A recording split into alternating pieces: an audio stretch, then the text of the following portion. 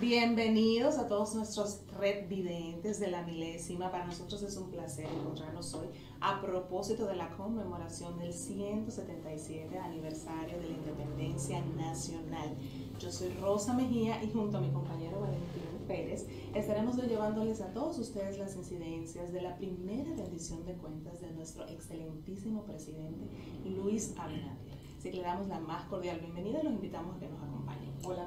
Muy buenos días, Rosa. Para nosotros es un privilegio compartir este espacio con todos ustedes.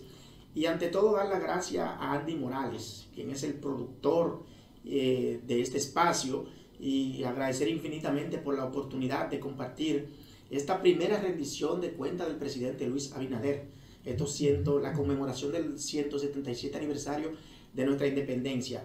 Eh, también estará con nosotros compartiendo este escenario eh, Ronald Rodríguez, eh, Franklin Mercado y Domingo Ramírez, jóvenes profesionales con quien compartiremos y analizaremos el discurso del presidente. Un minuto que vestimos Rosa no, no será, no extenderá, no se extenderá más allá de 40 minutos porque, como sabemos, es una rendición de cuenta especial. Y cuando digo especial es porque son los primeros seis meses de gestión que se van a evaluar muchas expectativas, la gente está a las expectativas, Rosa. Eh, el día de ayer ocurrieron dos eventos de mucha trascendencia, que la gente ha dicho, wow, pero ¿cómo es posible que en la víspera de un discurso del presidente de la República susciten dos eventos como es el aumento, eh, diría yo, un poco exorbitante de los combustibles y por otro lado, el tema de la destitución del ministro de Salud Pública, el señor Plutarco Arias. Así es. Sabes que hoy estamos aquí justamente para invitar al público que nos está viendo a que pues también nos vayan dejando sus impresiones a través de todas nuestras redes sociales y que vayan acompañándonos, ¿verdad? Porque todos tenemos muchas expectativas de, de este día de hoy. Fíjate que si nos circunscribimos a la agenda nos damos cuenta que ya a las 11.15 tenemos planteado el Tedeum en la catedral, lo que significa que el discurso será breve, como bien dices.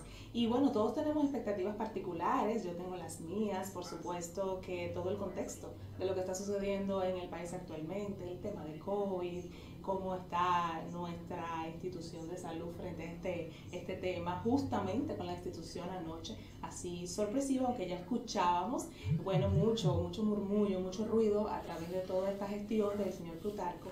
Sin embargo, también vemos este contexto de los combustibles que para nosotros hoy esperamos mucho, de mi parte por lo menos, saber bastante de este tema en el día de hoy, porque ayer fue muy brusco el aumento y creo que todos los dominicanos estamos a esa expectativa.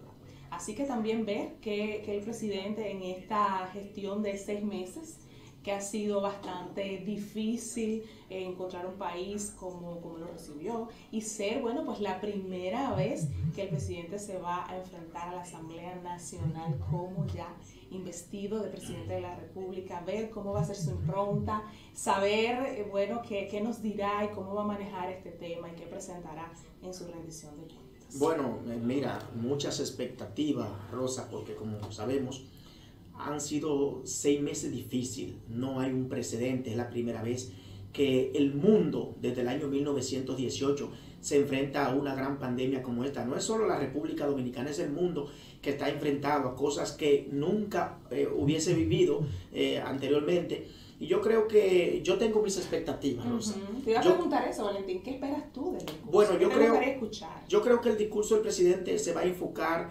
eh, en, tres puntos básicos. Primero, el tema de la reactivación de la economía. El presidente va a hablar eh, de manera amplia desde nuestra perspectiva de cuáles son los mecanismos que se van a utilizar para reactivar la economía. En segundo lugar, hablar del Plan Nacional de Vacunación que desde, nuestra óptica el presidente eh, ha manejado el tema de, la vacunación de una manera extraordinaria. Sin dejar de mencionar... 818 mil dosis ya hemos recibido en el país a la fecha para poder empezar a implementar este plan y justamente ya los envejecientes van a empezar. Sin dejar de mencionar el papel estelar que ha jugado también la vicepresidenta de la República. Claro que sí. Mira, yo creo también que otro de los temas importantes en que el presidente se va a enfocar es el tema turismo principal columna, si así puede decirse, de la, de la, de la economía dominicana. Bueno, Está prácticamente... Ahí yo tengo mucha expectativa como tú, porque para mí ese plan eh, de pues hacer un financiamiento interno, a que pues acceses a esos préstamos y gastes ese dinero me pareció una medida no muy correcta que creo que debería revisarse porque el turismo justamente es eso, personas que ganan dinero en otro país y vienen a gastarlo en turismo. Claro, claro. De repente este impulso económico en el sector turismo a mí me parece que es más un gasto que a reactivar la economía, aunque pareciese reactivar la economía circular.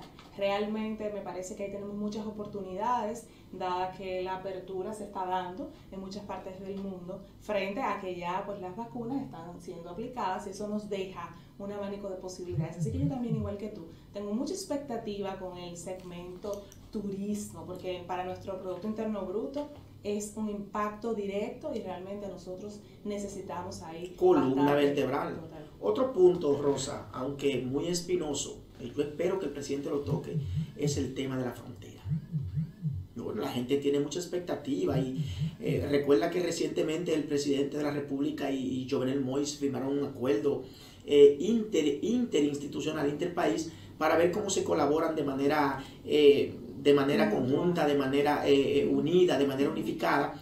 Y el tema fronterizo ha sido un tema muy espinoso, pero en los últimos días, en los últimos meses, quizá producto de esta misma pandemia, como que se ha agudizado un poquito. No, y recuerda que anoche pues recibíamos la noticia de que ya fueron liberados los jóvenes que fueron secuestrados y vimos ahí como muchas cosas tejiéndose y el presidente involucrado personalmente, veíamos cómo tuiteaba anoche sobre que ya tenía el estatus de los jóvenes liberados. O sea que siento que el tema eh, frontera, el tema relaciones con nuestro principal socio comercial que es Haití, pues también debe estar contenido en el discurso del presidente el día de hoy. Yo creo, Rosa, que hoy en la mañana el país debió amenacer de júbilo con esa noticia que esto acaba de dar, de que liberaron estos técnicos, eh, estos productores de cine, me parece técnicos en temas de cine, pero con esa noticia que recibió el país ayer de los combustibles, yo creo que eso eh, se tragó prácticamente la primera plana de hoy e incluso yo me atrevo a decir, Rosa, que esa noticia de los combustibles le ha tumbado hasta cierto punto un poquito de impacto al discurso del presidente. No sé de qué forma, yo no sé cuál fue la estrategia utilizada, pero desde nuestro punto de vista, desde nuestro entendimiento, yo creo que se debió postergar esta medida hasta el próximo viernes. Estoy totalmente de acuerdo, porque justamente la expectativa está girando frente a lo que el presidente dirá sobre esto y va a opacar todo aquello que el presidente pueda sustentar como bueno y positivo de su gestión, porque estaremos todos esperando cuando el presidente se refiera específicamente a este, tema. este tema. Yo decía anoche, Rosa, conversaba con algunos amigos y yo le decía, oye, pero yo no entiendo cuál es la estrategia comunicacional del momento, e, del, del, gobierno en estos momentos. La neurocomunicación es, está como inversa. ¿Por qué? Porque tú sabes que en, en, los partidos políticos, en los gobiernos, hay algo que se llama un cuarto de guerra, un petit equipo, donde se analizan las estrategias políticas, la línea programática que se va a seguir y cómo en, en la víspera de un discurso presidencial tú le sales al país primero con una destitución del ministro de, Salud Pública horas antes y el aumento vertiginoso, el aumento eh, exorbitado de, los combustibles. Entonces, como que esto le quita un poquito de impacto al, al, al discurso del presidente y no solo eso, sino que predispone un poco la población. Tú sabes que has dicho una palabra clave, es la estrategia. Yo siento que ahí eh, está, tenemos muchas oportunidades como gobierno, porque el gobierno es de todos, todos los dominicanos estamos, no importa cuál sea su simpatía política, somos dominicanos, estamos revestidos de esa condición desde la Constitución, así que es el gobierno de todos. Y creo que ahí, bueno, pues algo a revisar el tema de la estrategia de comunicación. Justamente siento que el presidente es un presidente que escucha, que está muy al día de lo que se está haciendo tendencia en temas de interés de todos los dominicanos a través de lo que ellos pues eh, disponen eh, comunicacionalmente. Sin embargo, estoy totalmente de acuerdo contigo el momento. No es el momento. Muy importante, porque hoy el protagonista es la gestión, es todo lo que ha pasado en estos seis meses y bueno, opacar con, con dudas, de hecho, revertir el tema hacia eh, que el pueblo está pidiendo destituciones justamente. Es como si fuera que, que, hay un encontronazo en cuanto a la estrategia del gobierno y lo que se viene. O sea que creo que también ahí nosotros eh, estamos esperando que haya un, como un, caminamiento más positivo. Porque como en un, en un proceso en el que tú tienes montada una logística de vacunación ante esta pandemia, tú destituye apenas seis meses de gobierno al ministro de Salud Pública cuando se supone que ya se, se había, hay una programación anterior, que tú rompes un esquema así, destituyendo una figura de primer orden, yo creo que te, te... Quiero interrumpirte porque acabamos de ver llegar al señor presidente de la República eh, en su vehículo. Claro, acaba de hacer entrada el primer mandatario. es un ícono en nuestro país pues de modernidad. A las 9 y 55, Rosa, para ser preciso, 9 y 55 acaba de llegar Luis Abinader. Lo hemos acompañado de su esposa y también de la excelentísima vicepresidenta. Van caminando, pues, vemos esto es un momento histórico, le van a rendir los honores a nuestro presidente justamente a la llegada de a la Asamblea Nacional. Súper puntual. es muy emocionante. muy emocionante. Muy emocionante porque realmente es hacer historia. Es la primera participación. De esto se estará hablando por muchos años de este momento. ¿Cuál fue esa rendición primera de cuentas de Luis Abinader?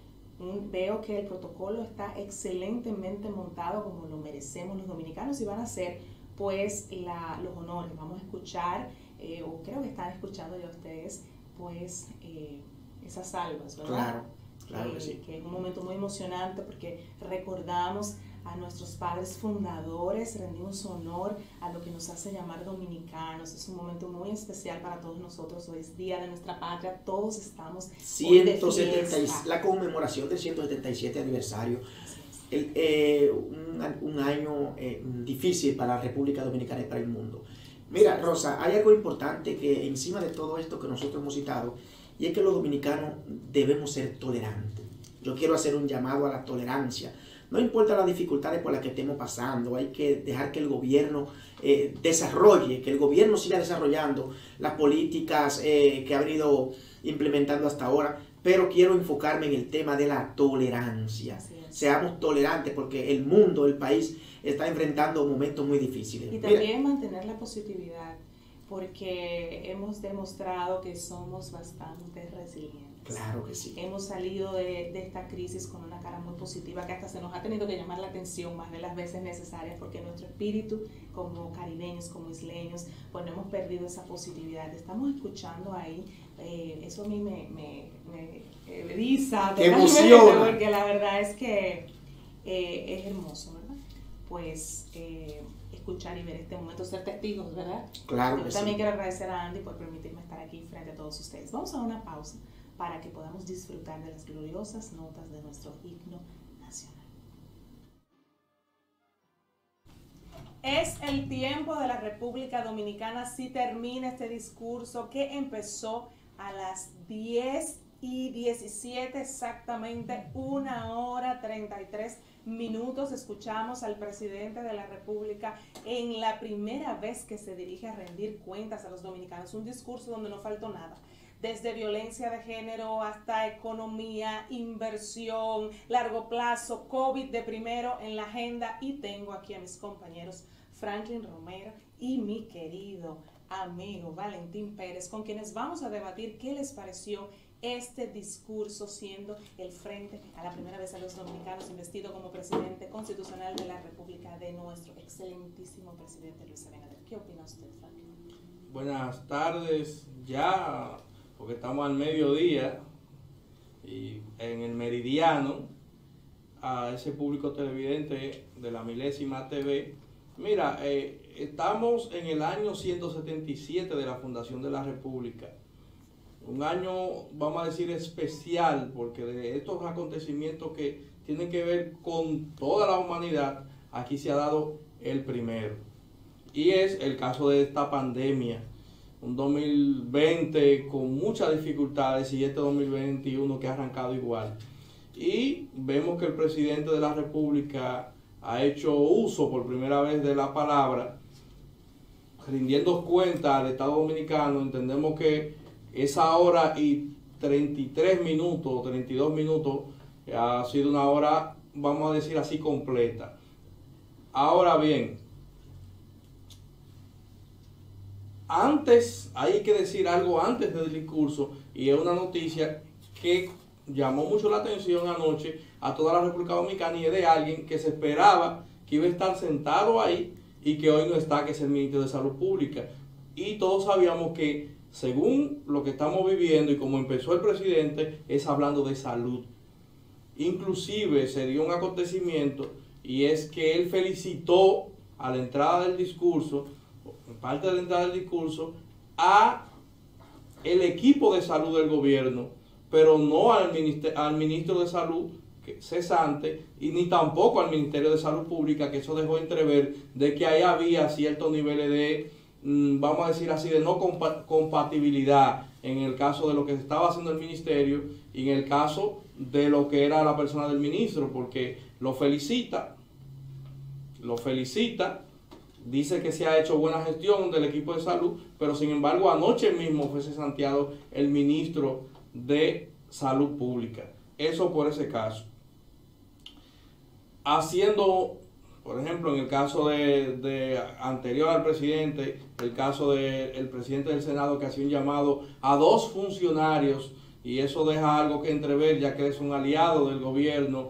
eh, y entonces hace un llamado a dos funcionarios que posiblemente estén siendo más altaneros de la cuenta o que están eh, no están en consonancia con la discursiva, ni la narrativa, ni la línea del gobierno del presidente Abinader y hace un llamado a que sean humildes. O sea, hay dos personajes del gobierno que están causando ciertos niveles de malestar a la altura que en su entrada, en la entrada del discurso del presidente, antes de su presentación, el llamado a presentarlo, hace ese llamado como una atención, porque todo el mundo está esperando ya la entrada del presidente, que el presidente va a hablar. Entonces, él introduce un tema que nunca antes en la historia, por lo menos lo que yo tengo, de conocimiento se había, se había hecho. O sea, que él haga un llamado de atención como para que el presidente lo escuche, pero para que lo escuche todo el mundo, de que hay personas en el gobierno que están tocando otra, sin, otra sintonía, que están en, en otra cosa que no es lo que el gobierno debería de estar. Y eso es un tremendo calentón para esos personajes, que él no mencionó el nombre, pero hizo referencia. Hay muchos, de una vez las redes empezaron a moverse y hay muchos que dicen que uno de ellos podría ser el ministro de Turismo de la República Dominicana, o sea, eh, David Collado.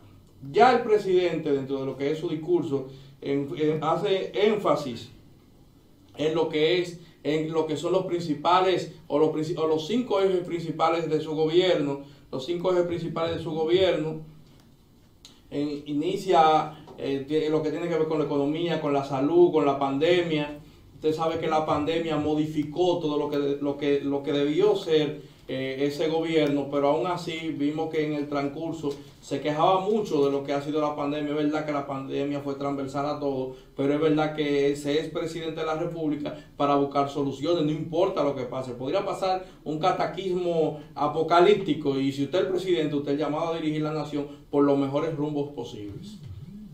Entonces, eh, hablaba de salud el sistema de salud, como bien decíamos, pero apelando a los sentimientos. Es decir, que si no se ha logrado algo, que la gente entienda de que se ha tenido buena fe. Y yo creo que es una buena estrategia del gobierno porque así la gente se mantiene más o menos, eh, más o menos neutro. Habló del tema de las, de las remesas, fueron 34 33 aplausos, 8 ovaciones, pero las ovaciones más importantes fue el tema de las remesas, el tema de la vacunación, cuando se habló de los médicos, el tema de la economía. Hay, hay ciertos niveles de discordancia con el discurso del presidente y el tema de lo que tiene que ver la recuperación de la economía, porque a pesar de que se ha inyectado mucho dinero a la economía, las grandes empresas, los grandes distribuidores y los grandes capitales han asumido esa grande línea de crédito, entonces ustedes pueden ver que todavía a estas alturas la mayoría de las micros y medianas empresas están cerradas. Y la percepción que se tiene con la inflación de los precios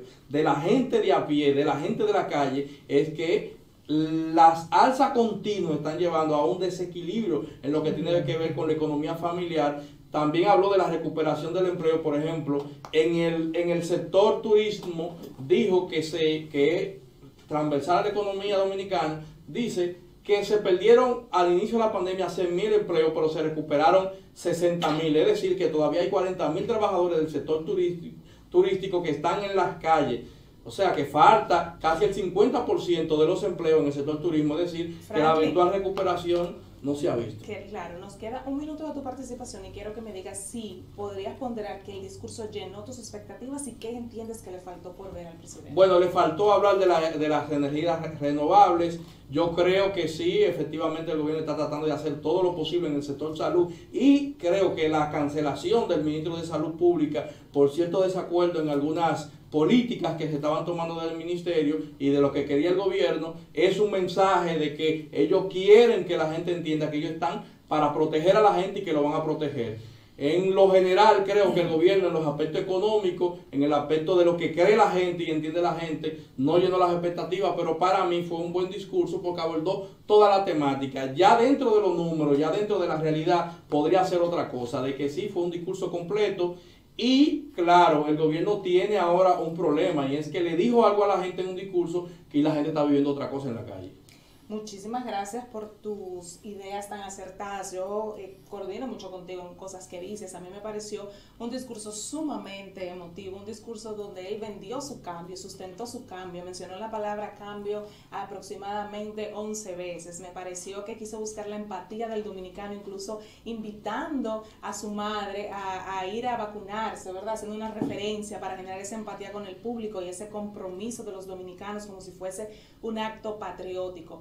Vi que el presidente abordó sus cinco ejes principales. Él estaba hablando de COVID, de la protección social, de economía, de transparencia, de los cambios estructurales. Ahí estoy como tú en el tema de la microempresa, esos temas del Banco de Reservas, pues realmente eh, eso no está accesible. Yo como microempresaria les puedo decir que es así porque he accesado a esa información y no lo he podido conseguir. Y justamente debatíamos detrás, de, en el momento que estábamos proyectando el, el discurso sobre este tema. Pero tengo aquí a nuestro querido Valentín Pérez, que nos va a decir también cuáles son sus impresiones sobre, sobre todo lo que ha sido la locución del presidente el día de hoy. Bueno, gracias eh, Rosa, Franklin Mercado, por acompañarnos en este, en este, en este análisis del discurso del, del presidente y, cómo no, dar las gracias también a Andy Morales y a la milésima por invitarnos a este interesante debate y análisis del discurso del presidente, vale la redundancia. Miren, en principio cuando el presidente comenzó, yo lo sentí un poquito como muy exaltado, pero a medida que pasaban los minutos, pues las cosas se fueron como eh, eh, acoplando. El presidente dijo algo muy importante en su, su alocución al inicio, él dijo que la República Dominicana no es la misma. Yo quiero eh, decir que este fue un discurso muy esperanzador, un discurso que manda un mensaje contundente a la población, un mensaje de unidad, un mensaje de concordia, un mensaje donde los dominicanos cada día debemos estar más unidos, pero sobre todo un mensaje de tolerancia, un mensaje de que debemos ser tolerantes. Si hemos pasado, eh, eh, prácticamente estamos en, la orilla de la playa, si así puede decirse con relación a esta pandemia, que le hemos librado de manera exitosa, independientemente de que eh, hayan fallecido en la República Dominicana aproximadamente unas 3.000 y, mil y tantas de personas producto de esta pandemia, yo creo que el tema de la pandemia ha sido manejado de una manera efectiva. De manera que yo considero que el discurso del presidente fue un, un discurso aceptado porque se concentró en siete temas básicos, en siete puntos básicos que la población esperaba escuchar y que son temas espinosos. Por ejemplo, el tema haitiano era un tema que el presidente no podía dejarlo de citar en su discurso. Y citó innovación. Y, claro, y habló de innovación, habló de, de, cómo proteger esa frontera, esos 317 kilómetros de frontera aproximadamente, y cómo reforzarlo.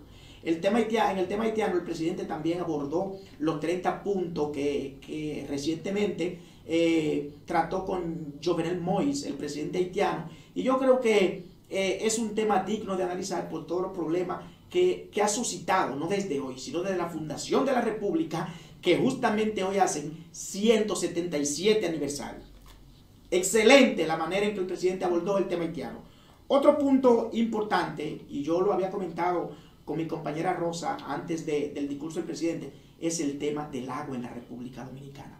Otra ovación también. Otra ovación. La República Dominicana está ávida de que aquí se promulgue ya una ley de agua. ¿Por qué? Porque no existe un régimen de consecuencia. Si nosotros revisamos las estadísticas eh, de un informe del año 2008 del Banco Mundial, pues nosotros nos daremos cuenta que en el manejo de agua en el tema del, del, comportamiento y el tratamiento que se le ha dado al agua en la República Dominicana ha sido algo realmente que ha estado por debajo de las expectativas de los demás países latinoamericanos. Entonces, el tema del agua es un tema fundamental que en la República Dominicana tiene que atenderse. Primero, por el, para el tema del consumo y luego para el tema agrícola, porque viene siendo un complemento para mantener y estabilizar cualquier gobierno de la República Dominicana. Otro punto importante que el presidente trató, Rosa Franklin, fue el tema de la alimentación, de que en este país la alimentación está garantizada, pese a que hemos tenido grandes aumentos en, en algunos productos básicos de la canasta familiar, pero habló de que tenemos miles de hectáreas de tierra sembrada de arroz para que este cereal, este rubro importante de la canasta familiar, no nos falte. Pero no es menos importante el tema de los peajes sombra. Y es bueno ilustrar un poquito. otra ovación. Y es bueno hablar ahí e ilustrar un poquito a la, población sobre qué es un peaje sombra. Es algo sencillo. Un peaje sombra es un peaje, son los peajes que están ubicados en ciertas avenidas principales del país y se debe pagar a los administradores, transiten vehículo o no transiten vehículo por ahí. ¿Usted sabe qué significa eso?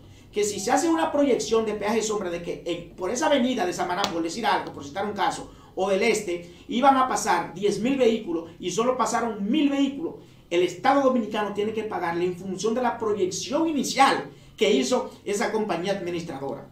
Y finalmente, los programas sociales.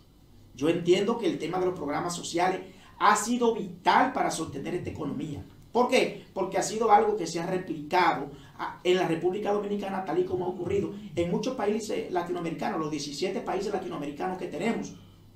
Se ha aplicado, se aplicó la metodología de John Maynard Keynes, una filosofía económica donde dice que lo principal en una economía cuando se ve en un momento de dificultades es dinamizarla es darle facilidad a la gente, son las ayudas sociales.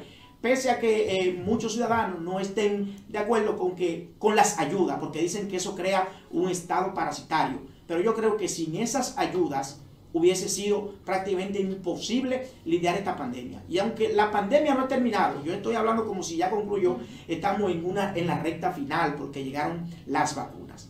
Miren, ya para concluir, Independientemente de lo que puedan pensar algunos analistas, no sé cuál será la opinión de mi compañero, al final cuando abramos un pequeño roundtable, este ha sido un discurso alentador, no pesimista, como muchos han querido ya decir, que lo he visto en las redes sociales, no un discurso pesimista, no un discurso de quejarse. Lo que pasa es que el pueblo dominicano necesita que le expliquen las cosas. Usted no puede dejar pasar la cosa por alto. Ah, de que a nosotros nos han engañado con el tema de las vacunas, que los países eh, más desarrollados, básicamente el G8, eh, ha acaparado las vacunas. El pueblo necesita que se le diga eso. Como también el pueblo necesita que el presidente de la República en esta semana le diga al pueblo dominicano cuál ha sido la fórmula utilizada para medir y calcular el comportamiento de los combustibles en el país. Otra ovación para el presidente cuando anunció ese cambio. Claro que sí. Entonces, de manera muy personal, y yo creo que un segmento interesantísimo y un segmento importante de la población pondera este discurso como un discurso histórico, un discurso de una hora y media que tocó los hilos más finos de la sociedad dominicana, que tocó el sentimiento y no es quejarse, es decirle a la gente cómo son las cosas y poner los puntos sobre las IES. Así es, tú sabes que parte también de dinamizar la economía que me gustó mucho en el discurso del presidente y que yo esperaba porque siento que no había visto como la disposición de construcción en infraestructura es la construcción de la carretera Ámbar justamente en la zona de Puerto Plata. mismo con el tema de agua, el anuncio de pues reforzar construcciones de algunos acueductos y construir unos nuevos, que eso sí genera fuentes de empleo y mueve la economía circular, impacta obviamente todo lo que son los ingresos del país. Ustedes dos entonces coincidirían en que la parte más débil del discurso fue en la parte económica. Bueno, sí, sí, eh, para mí sí, ¿por qué? Porque ambos sabemos, por lo menos mucha, el público televidente va a saber ahora también de que muchos de los avances económicos que se plantean a través de números son por empréstitos, porque la economía no estaba produciendo y se tuvo que coger prestado. Ahora el problema es la carrera de préstamos que el gobierno tomó para avanzar ciertos procesos. Entonces, te dicen que las reservas del Banco Central en dólares han aumentado en más de 6 mil millones, por ejemplo, pero eso han sido empréstitos, inclusive algunos hasta la carrera. Por eso la incomodidad con el tema del ministro de Salud Pública, ¿por qué? Porque fue que se tomó un dinero prestado para hacer esa inversión en salud y se estaba desde el punto de vista de, por eso se tomó la decisión, porque entendieron que se estaba mal utilizando. Ahora, el problema también está de que efectivamente el gobierno ha lanzado planes de apoyo a las pequeñas y medianas empresas y de financiamiento a los microempresarios, pero entonces eso no se refleja en que en el precio del consumidor final que la gente de a pie. Cuando la gente va a comprar, el gobierno anunció unos unos insumos, unos combos a través del INESPRE, Instituto de Estabilización del Precio, que todos lo vimos muy bien y lo aplaudimos. Ahora, ¿dónde están esos caminos del INESPRE? ¿Dónde están los puntos del INESPRE? Pero la gente lo que quiere es que cuando vaya al supermercado a comprar, cuando vaya al colmado a comprar o cuando vaya al sitio que vaya a comprar, a la carnicería o lo que sea, si las carnes estén al precio Franklin, que, que, tiene que estar. un poquito de ti en ese tema por lo siguiente. Tradicionalmente, el dominicano ha estado acostumbrado que en los discursos de, rendición de cuentas no hablen de cifras, de números rimbombantes y cantidades parafernálicas. Dos mil millones, tres mil millones, cuatro mil millones de pesos. Yo creo que el, presidente de la República ha cambiado, ha cambiado un poquito esa, temática. De venir a hablar de, cantidades eh, en el aire, de cantidades superfluas. Sin embargo, no, pero lo tiene el discurso. Sí, lo, tiene. Pero el, presidente, discúlpame, eh, eh, Raiza, el presidente trató de no caer en esa trampa de durar media hora, 20 minutos hablando de cantidad. Sin embargo, lo dijo. Voy a decir algo tuvo contenido de cifras, estoy de acuerdo, sin embargo hubo cifras ahí que debimos explicarla mejor al pueblo. Claro. la caída de dos puntos de la inflación, del déficit nuestro, de 7 a 9. Hay que explicar el revestimiento de todos los empréstitos. ¿Cómo se dio?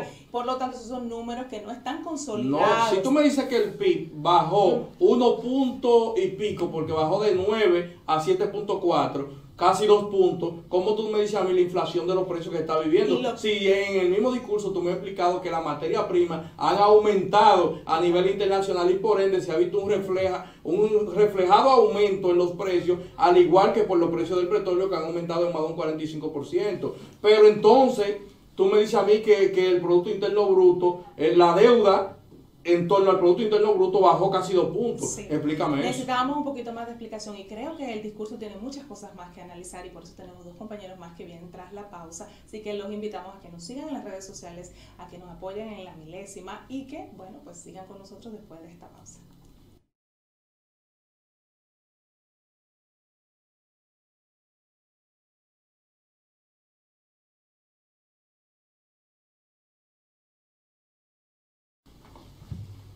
Bienvenidos nueva vez, espero que ya nos estén siguiendo en arroba la milésima. Y ahora me acompañan dos compañeros que estuvieron también muy atentos al discurso y que tienen muchas reflexiones que compartir con nosotros. Hablo de Ronald Rodríguez y de Domingo Ramírez. Bienvenidos, gracias por estar acá.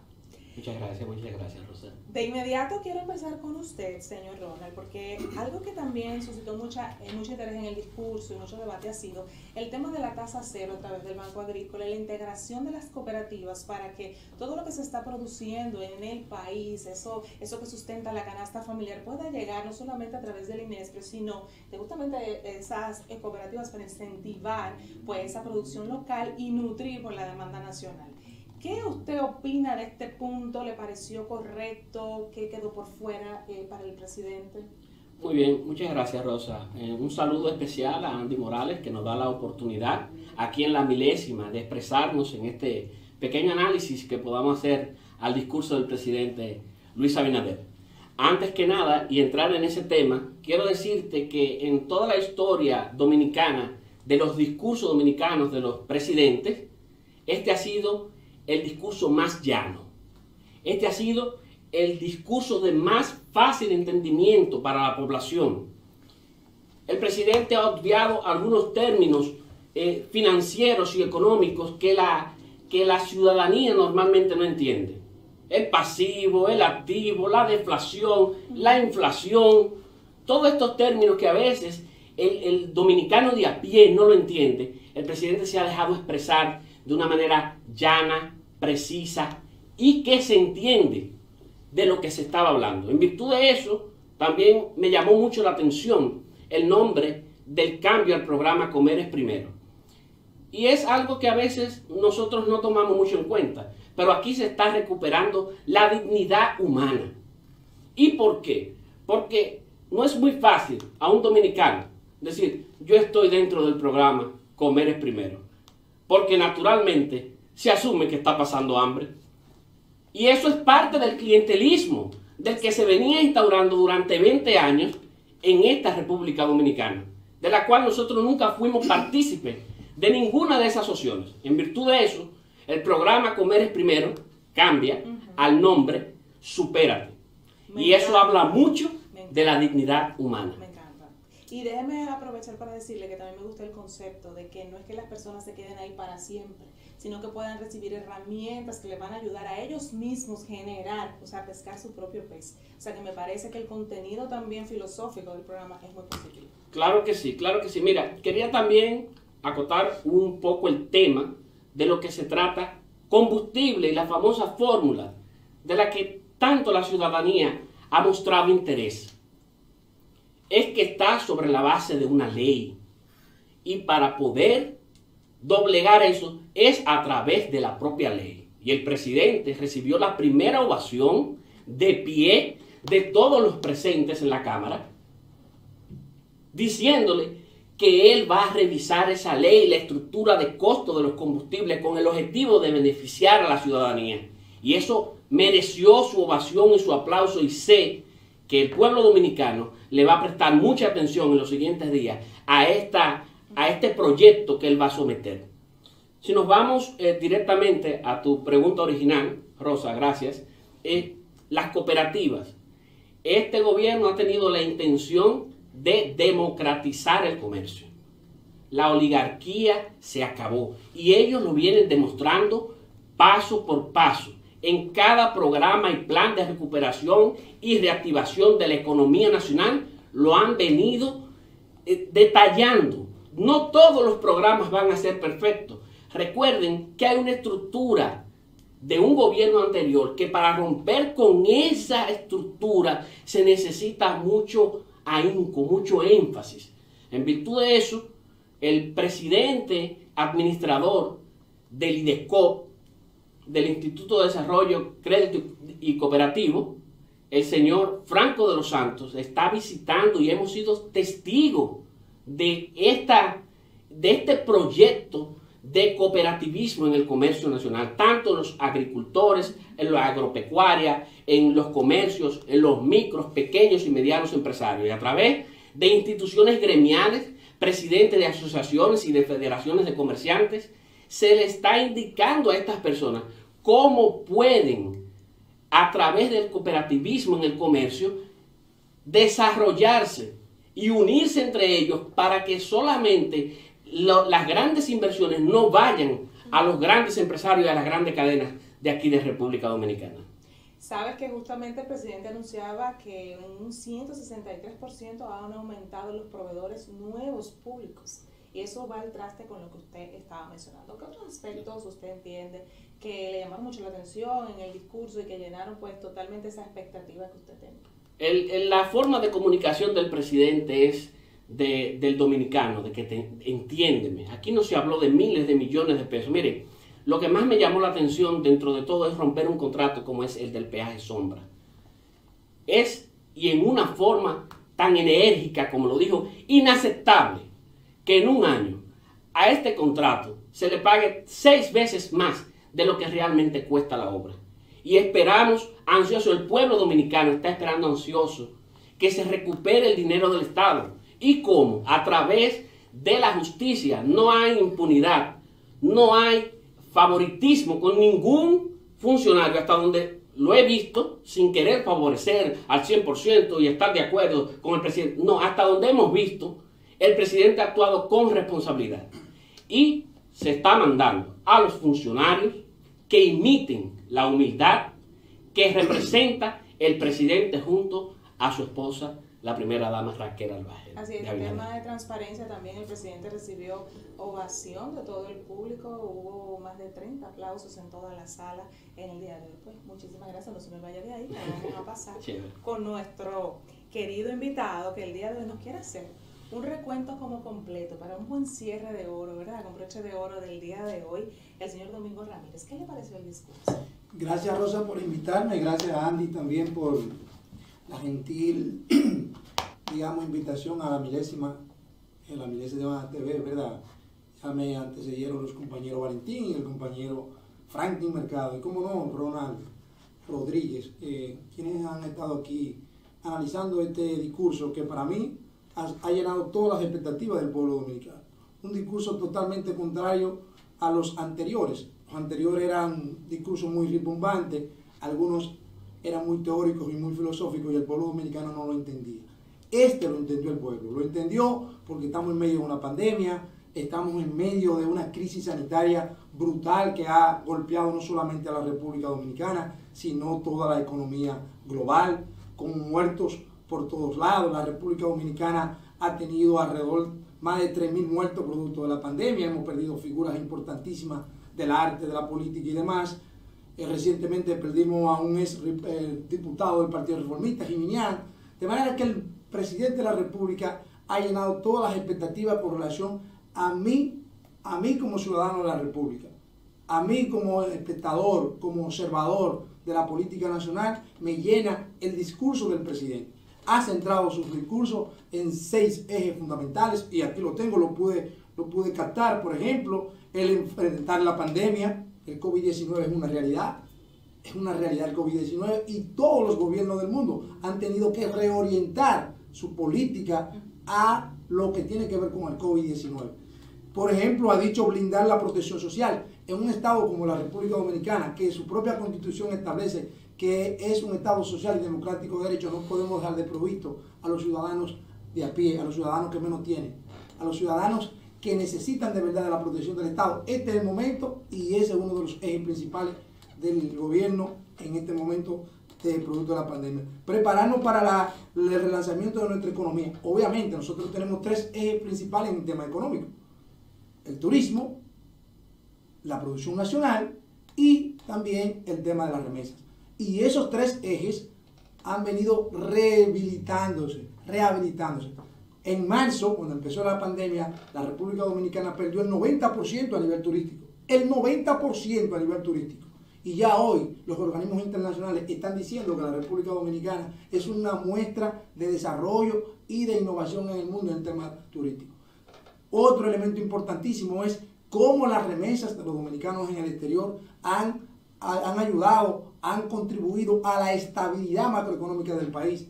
Un aplauso formidable y fue el aplauso, fue la, la, la, ovación más importante que se dio en la Asamblea Nacional, producto del esfuerzo extraordinario que hacen los dominicanos en el exterior. También otro punto importantísimo que a mí me resultó eh, eh, ver en, el proceso es el tema de cómo el presidente le ha dicho al pueblo dominicano que aquí no va a faltar comida. Nosotros somos una isla una isla rodeada de agua. Y entonces aquí el presidente se ha comprometido a no, a que aquí no falte la comida y el tema de, de cómo el ministro de Obra Pública, eh, perdón, el ministro de, de Agricultura, Limber Cruz, ha venido reestructurando todo el sistema de producción nacional, a mí me parece también importantísimo. Por ejemplo, promover una cultura de transparencia y honestidad en el manejo de los fondos públicos, importantísimo, importantísimo. La República Dominicana, yo pienso que el tema de el funcionario que vaya a la, institución tiene que rendir cuentas. Por eso el presidente de la República, de una manera muy sabia, inicia su discurso citando al padre de la patria cuando fue en abril del año 1844, a propósito de que se celebra hoy el 177 aniversario de la independencia nacional. El padre de la patria fue a una, a una expedición o a una misión que se le encomendó tanto en Asua como en Baní y de allá trajo una rendición de cuentas todo el funcionario público tiene que rendir cuenta, todo el funcionario público tiene que ser transparente. Por eso nosotros hemos dicho que las dos nuevas ideologías que dominan el siglo XXI son tecnología y transparencia. Y que los políticos, sobre todo los políticos latinoamericanos, están atrapados en eso y que los, los dominicanos tienen que aprender de eso para que no caigan en la trampa de estos dos conceptos que pueden destruir carreras y, solo, y sobre todo pueden llevarte a la ruina en términos políticos y en términos sociales y también en términos personales. El tema, por ejemplo, de la de acometer las reformas estructurales de nuestro país que se necesita. Todo ese tipo de cosas que el presidente ha venido haciendo. Una reforma importantísima que ya se ha citado aquí es el tema de los peajes sobra. Nosotros no podemos seguir pagando a la, a la, a la empresa que administra la, la autopista del Nordeste todo ese dineral, cuando ese dinero puede ser invertido en salud, en alimentación, en educación y demás áreas sociales que tanto lo necesitan. Nosotros tenemos que, por ejemplo, producir una reforma real a la ley de hidrocarburos. No podemos seguir pagando los combustibles más caros de América. No se puede, eso es imposible. Recientemente la gasolina premium subió casi 10, 10, 10 pesos. Ayer subió 10 pesos. Eso es un momento de perturbación, es un asunto de perturbación. Por eso ustedes ven que cuando el presidente de la República habla de eso, recibe una gran ovación también, porque realmente es un, impacto directo a la economía de, no solamente del dominicano común y corriente, sino a todo el sistema nacional. Entonces, eso es un elemento que también eh, debe ser eh, tomado en cuenta a los fines de que se vayan ajustando las cosas y que la República Dominicana pueda ir cambiando toda su base impositiva, toda su base de plataforma de desarrollo social que permitan obviamente tener eh, mejores condiciones de vida y mejores estadios de desarrollo. Usted sabe que ha dicho cosas muy importantes que me gustaría que ambos me den también su opinión. Las tendencias mundiales justamente son tecnología y transparencia y también para el dominicano la expectativa en este cambio, en este gobierno del cambio, estaban muy enfocadas en los sistemas de consecuencia, en la transparencia, pero también para toda la población, ahora mismo hacemos una encuesta, el tema de las energías renovables, el tema del medio ambiente, el tema del cambio climático, son ejes fundamentales que todas las mesas de discusión están trayendo. De hecho, son objetivos del milenio, o sea, es un tema neurálgico. Y realmente escuchamos al presidente hablar de conseguir los títulos de propiedad en este tema, de los parques que hay en el país, que solamente uno teníamos eh, eso constitucionalmente establecido. No mencionó cuál, no sé si ustedes saben cuál es ese parque. Sin embargo, y que se está empezando en esta política. A mí me parece que faltó un poco de ese tema de cómo se va a hacer la inversión en temas de energía renovable, cómo se está el gobierno preparando frente a esta embestida del cambio climático, etcétera, etcétera. ¿Qué ustedes opinan de eso? En base a la energía renovable, yo entiendo que cuando Luis Abinader asumió el poder, él mandó un mensaje claro al asistir a, la toma de posesión en un Tesla eléctrico. Bien, nosotros estamos acostumbrados a que nos den un bobo. Y muchos políticos tradicionales, cuando no tienen una respuesta, dicen, sí, estamos trabajando. Yo te aseguro a ti que cuando el presidente Abinader tenga un plan respecto a la energía renovable, todos la vamos a conocer. Y quizá en esta ocasión no era tan relevante como los temas que tomó, porque no tiene un plan definido o ya estructurado para presentarlo. Así que no va a hablarte de una cosa que no han hecho o no está terminada. Esa es mi opinión respecto a la energía renovable. Mira, te voy a decir lo siguiente. Recientemente Falcondo estaba solicitando que se un permiso para tratar de explotar Loma Miranda. Eso es un error. El gobierno debe meter en eso.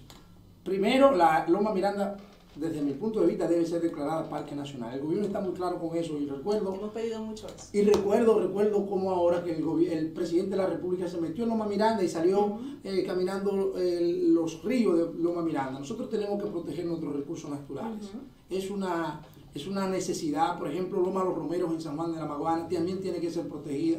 El senador, los diputados y demás autoridades de la provincia de San Juan se han comprometido a que esa parte no puede ser tocada. Por ejemplo, el presidente habló de San Juan como uno de los principales productores de, grano del país, de la cebolla que se produce también en esa zona de Vallejuelo y demás, que es un elemento importante. Pero además yo debo decirte algo, el tema de los, de, de los recursos renovables es un tema pendiente no solamente de la República Dominicana, sino a nivel mundial. Pero, pero el gobierno ha dispuesto a través de los programas especiales de la presidencia que dirige Nene Cabrera la intervención de alrededor de 10 eh, vertederos, ¿ah? de 10 de 10 de 10 de estos espacios donde se acumula basura sin ningún tratamiento para, para, reciclarlo. Y eso es una muestra que el gobierno está comprometido con ese sector de tratar de renovar esos recursos y de obviamente de producir menos contaminación, porque en la medida que se produce menos contaminación, obviamente tenemos mejores condiciones de vida, mejor calidad de vida y los dominicanos pues obviamente vamos a, a, caminar por el sendero de desarrollo. No podemos despedir esta transmisión sin hablar de un tema importantísimo que es educación. En temas de educación el presidente ha hablado de que el gobierno no se ha detenido en pues, preparar a los docentes para que tengan las herramientas para la educación a distancia y fortalecer ese plan. Ha sido muy retador. Yo pienso que el primer sacudión que ha dado la pandemia justamente ha sido en desestructurar pues, todo lo que es nuestro entramado de educación. Y habló también de educación desde inicial hasta educación avanzada. ¿Qué ustedes entienden cómo el presidente abordó este tema dentro de la locución? ¿Qué esperan? Porque ya dio como una, una, una ideita y de que ya tenemos que empezar a abrir dijo como que ya nos vamos a preparar para esa apertura. Sí, fíjate, no hay nada tan malo que no tenga algo bueno. Y este, esta pandemia del COVID-19 ha empujado al mundo a comunicarse tecnológicamente. Ha empujado a la República Dominicana a la educación a distancia. Señores, es un logro del gobierno que ninguno de los estudiantes dominicanos hayan perdido su año escolar. Es un logro del gobierno todas las estructuras digitales, impresas y de televisión que ha usado como marco para la educación dominicana. Y ya se está presentando un plan gradual donde los estudiantes podrán hacer gradualmente presencia en las escuelas y los colegios privados.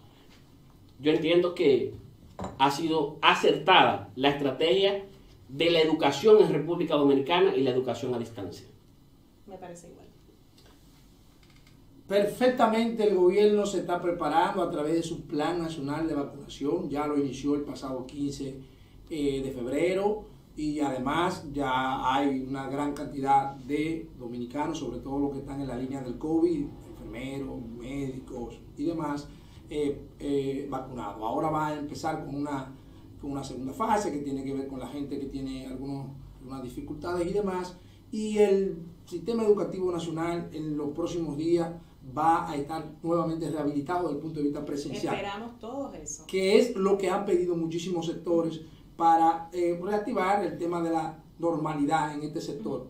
Pero obviamente yo coincido con Ronald cuando dice que es una, una proeza, una realidad, que no se haya perdido el año escolar y que ningún estudiante haya salido del sistema educativo es un gran logro para no solamente para, para el gobierno dominicano, sino para la la, incluso la, ciudadanía, ¿no? Incluso la región, podríamos hacer esta referencia. Exacto. Miren, otra cosa importante que ya nos tenemos que despedir, nos queda un minuto y 43, es el tema del RD Beach a ver, para decirlo exactamente, es como una analogía del Silicon Valley. Es el RD Silicon Beach, que es como un clúster, ¿verdad? Para que haya pues un intercambio comercial bastante importante y que, y que nosotros, bueno, el Silicon Valley lo tomamos de referencia para muchas cosas. ¿Qué ustedes opinan de eso en temas del comercio?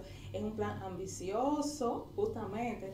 Vemos que el gobierno no se ha quedado de brazo cruzado, o sea que hay planes para todo, es vasto el contenido de este discurso. ¿Qué opinan? Claro, eh, por eso te decía hace un momento, Rosa, gracias por la pregunta nueva vez, que hay cosas tan relevantes.